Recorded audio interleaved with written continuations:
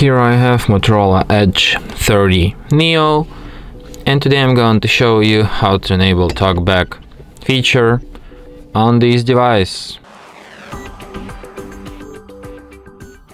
So to do this, firstly you have to open settings, then go to the accessibility section and then go to the talkback. Here you can enable talkback, after that talkback tutorial starts immediately. Talkback. Welcome to TalkBack, page 1 of 5. TalkBack is a screen reader intended for situations or people who have difficulty seeing the screen. It gives you spoken feedback so that you can use your device without looking at the screen. You can turn TalkBack on Okay. or off by holding both volume So keys for several basically when you're in the talkback mode, to perform any action you have to firstly tap on it and then to confirm it you have to double tap on it. So you tap, close, then double tap it. So in order to turn talkback off, you just tap here, double tap, Stop stop, Stop. stop please. And that's how I can do it.